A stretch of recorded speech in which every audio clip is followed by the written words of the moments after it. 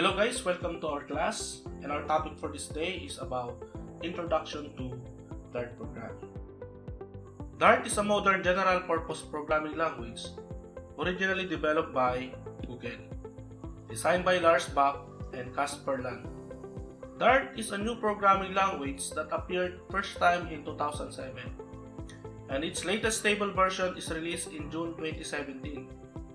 Not many people knows about Dart the significant growth of Flutter made it more popular. Dart is an open source programming language not only used for developing mobile applications, but it is approved as a standard by ECMA and is used to build web, server, desktop, mobile applications, and the Internet of Things or IoT devices. The Dart compiler comes with its own virtual machine which allows Dart programs to run on every systems. When Dart is used in web applications, there is a Dart2JS compiler which transpiles Dart code into optimized JavaScript code so it runs on all modern web browsers. Dart is an object-oriented, class-based, optionally typed programming language and it also supports mix-in-base inheritance. Syntactically, it looks quite similar to Java, which make it easy to learn if you prefer Java as programming language. Likewise Java, it also has a final keyword, string class, object class, extends keyword, and many more. The Dart compiler also shows a warning and error like any other structured programming language. Why Dart? Dart is cross-platform and supports all major operating systems. It is open source and available with a BSD license. It is recognized as an ECMA standard.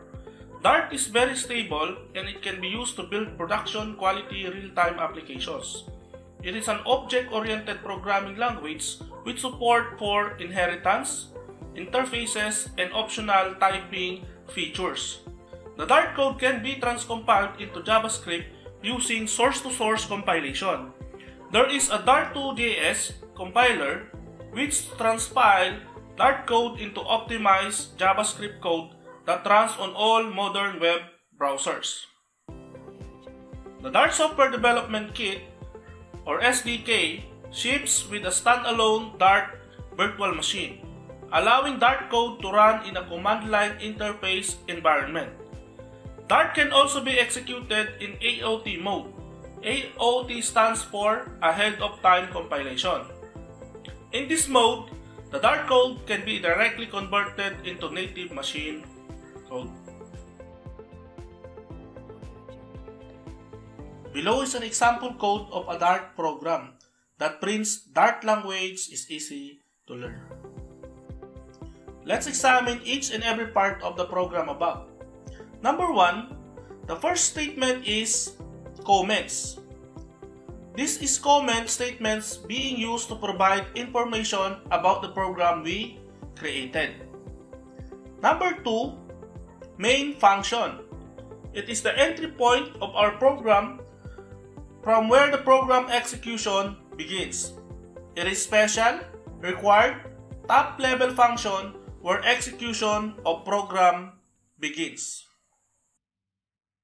Number 3, the print function. The print function is used to output or display the content between double quotes to a screen. The print method is similar to Perl, Java, or any other language. So, in our previous video, we created an Hello World application that prints Hello World. So, in here, the print statement display Dart language is easy to learn. Data types. Variable is name storage location and data type simply refers to the type and size of data associated with variables and functions. There are five data types available in Dart programming language. The integer, double, boolean, string, and dynamic. So in our example, x is defined as integer with a value of 10. Y is defined as double with a value of 2.0. Z is defined as Boolean with a value of true. Take note, in Boolean there are only two values which is true or false. S is defined as string with a value of hello. So string variable is initialized with double quotation. Just like in our example, hello is enclosed with double quotation. And lastly, dynamic D. So, dynamic variables can change types at any time. So, for example, D is set with the value of x. x is integer. So, the data type of D becomes integer. And in our second statement, D is set to Y. So, the value of D becomes double since Y is has a data type of double. Then for our last statement, D is equal to Z. Z is Boolean, so the data type of D becomes Boolean since the data type of C is Boolean. Arithmetic operators. Arithmetic operators are used to perform arithmetic operations like addition, subtraction, multiplication, division, modulus, exponent, and etc. For the addition, the operator used is plus sign. For the subtraction, the operator used is dash. For the multiplication, the operator used is asterisk. For the division, the operator used is slash and tilde slash. So there are two operator used in the division. The first operator is the regular division. The other one is it forces the result to become an integer or it returns an integer result.